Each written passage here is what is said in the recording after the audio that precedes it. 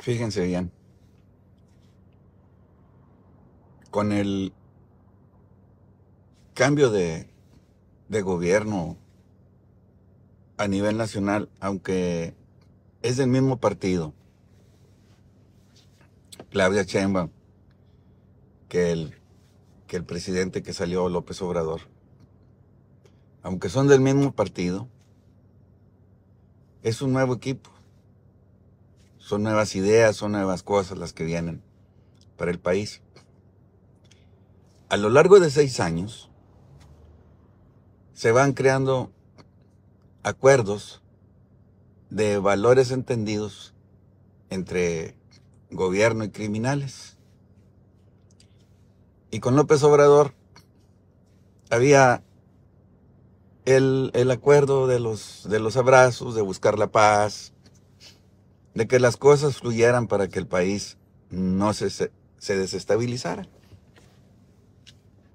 Y bueno, el ejército se mantuvo a la expectativa, las Fuerzas Armadas fueron muy prudentes, había orden de no, de no hacer daño, de no disparar, de, de no causar bajas incluso a los, a los delincuentes, para que no se fuera a manchar la investidura del, del presidente de la República.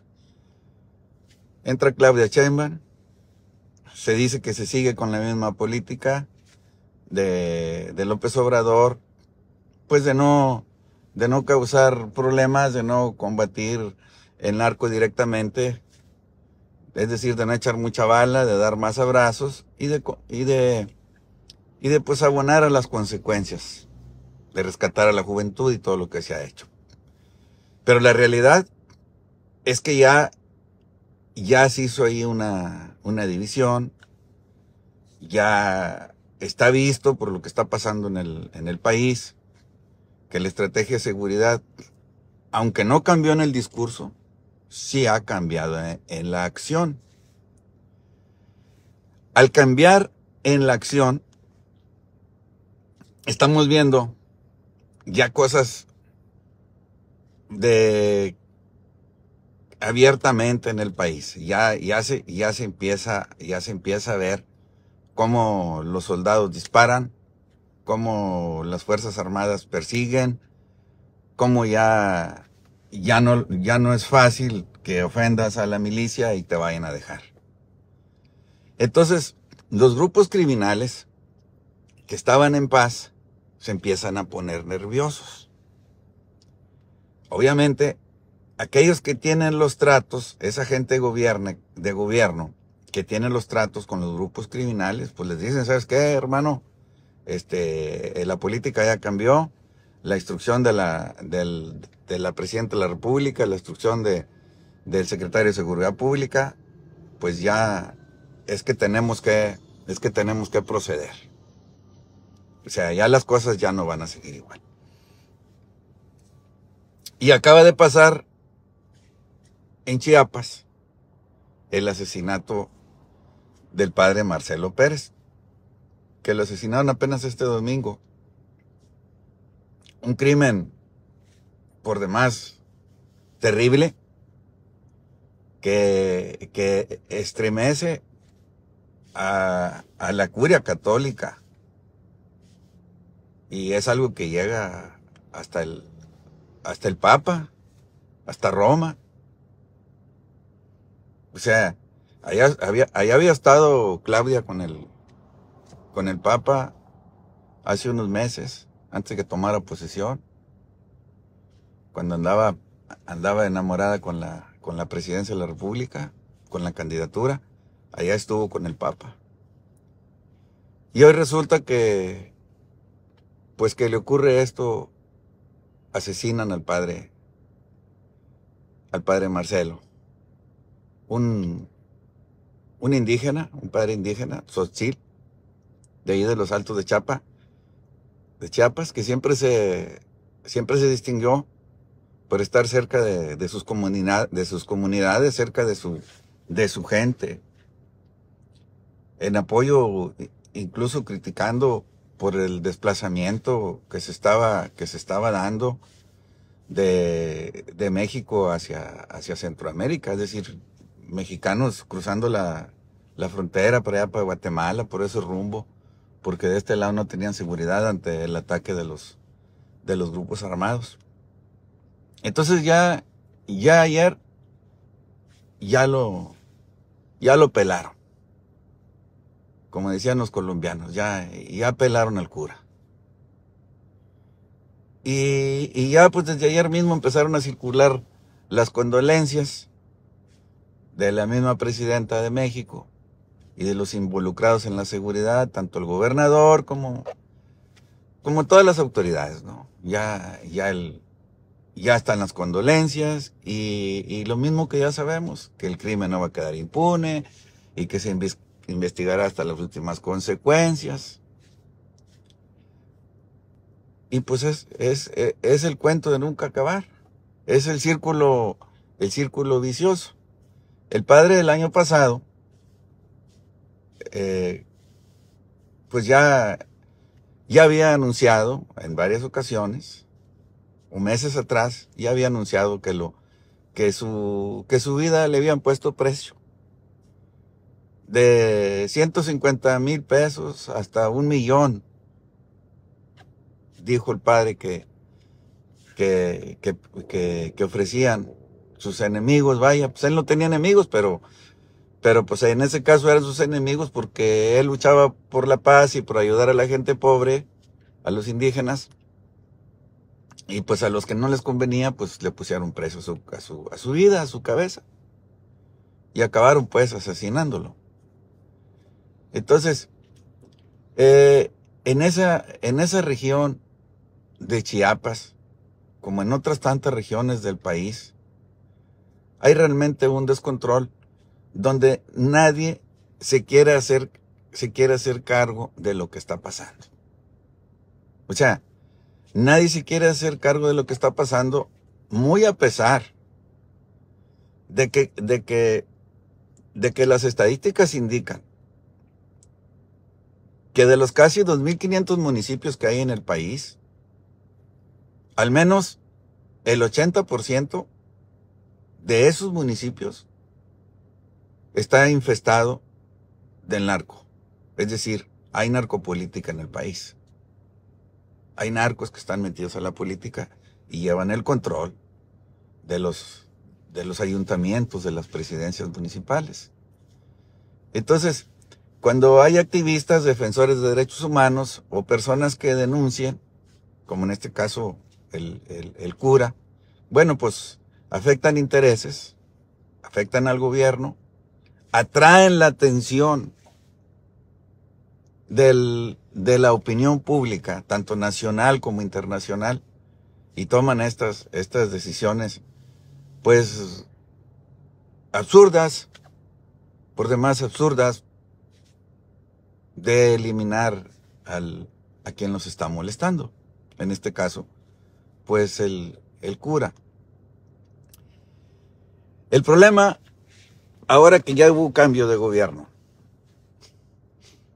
que hay una situación muy marcada, porque empezamos a ver, empezamos a ver que, que, que el gobierno de República, la comandanta suprema, eh, el secretario de Seguridad Pública, Omar García Harfuch, ya, ya, están, ya están hasta la coronilla de todo esto que ocurre y el, y el ejército, las Fuerzas Armadas, tienen, tienen orden de, de proceder y lo están haciendo. Ya vemos en los videos que corretean a delincuentes, ya vemos que les tiran, ya vemos que los, que los capturan, que los matan. O sea, y esto se va a ir recrudeciendo en el país. Se va a ir recrudeciendo en el país porque, fíjense, ahora que, ahora que le pegaron al cura, el, episcopado mexicano, con justa razón, pues está exigiendo lo que, lo que siempre, lo que siempre ha exigido, lo que, lo que siempre ha estado exigiendo. Es que el gobierno combata a los, a los criminales. Ahora, ¿qué pasa si este gobierno de la República o sea, la comandante suprema, Claudia Sheinbaum, no, no combate sobre todo los grupos criminales más violentos del país, como en este caso, ahí en Chiapas. ¿Qué es lo que pasa? Está dando pie, está dando pie y no, y no falta mucho tiempo. Como, con lo que está sucediendo en Estados Unidos, con los capos que tienen ya ahí detenidos, con la intervención que tuvieron en Sinaloa, que ese es otro punto pendiente, donde esa guerra en Sinaloa apenas está empezando y no la han podido controlar. ¿Qué va a pasar? Que el Congreso de los Estados Unidos, después de las elecciones de noviembre en Estados Unidos, tome la decisión de declarar a los carteles de la droga en México como terroristas. Eso es lo que va a pasar. Eso ya está en puerta. Eso ya está en puerta. Ahora viene la revisión del Tratado de Libre Comercio.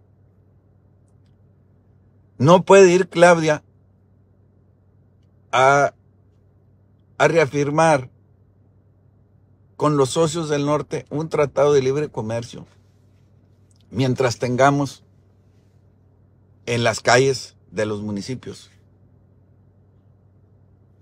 este tipo de hechos sangrientos.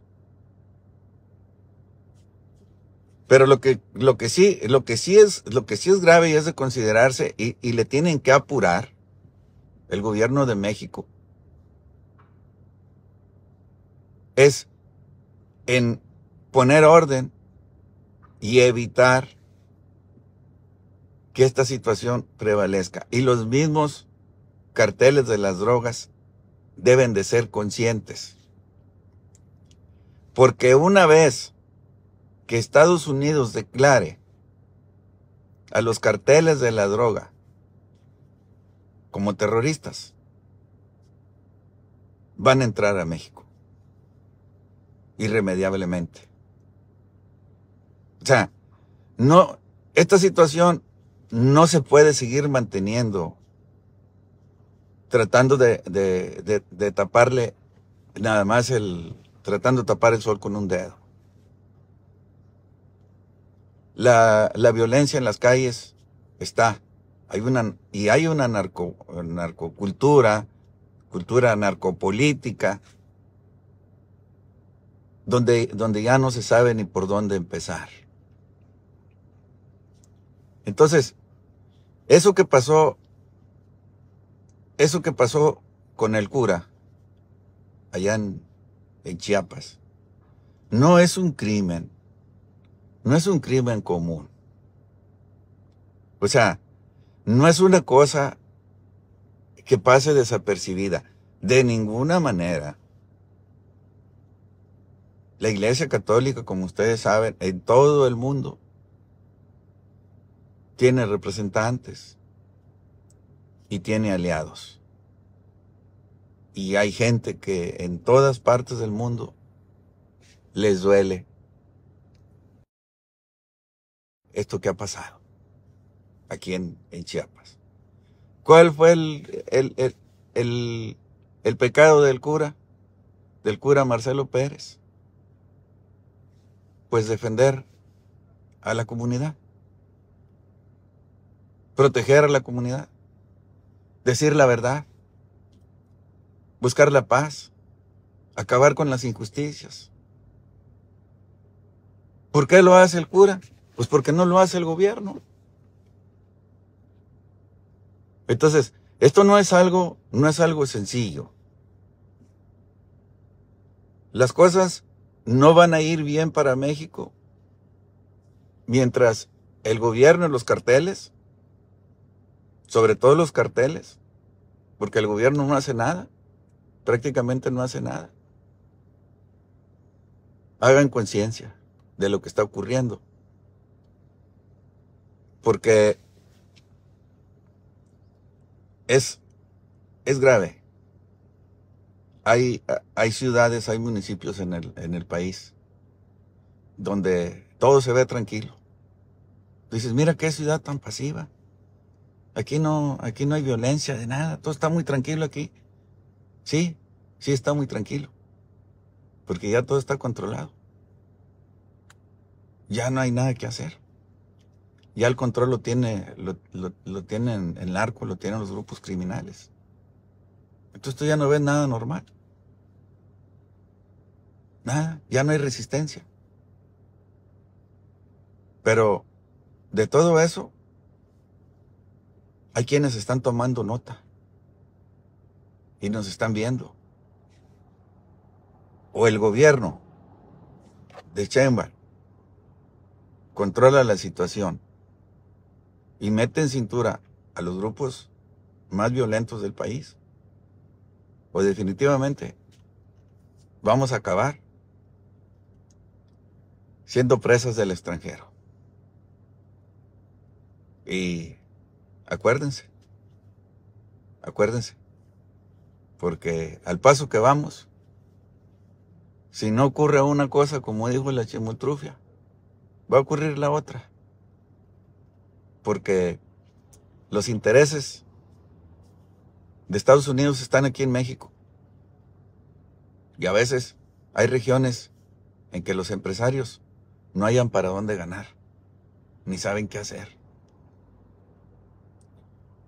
Es importante que hagamos conciencia.